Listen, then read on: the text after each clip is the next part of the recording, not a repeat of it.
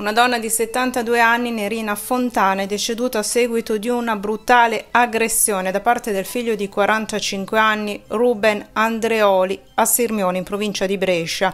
Nonostante l'arrivo in ospedale, i medici non sono riusciti a salvarla a causa delle gravi ferite riportate durante l'aggressione.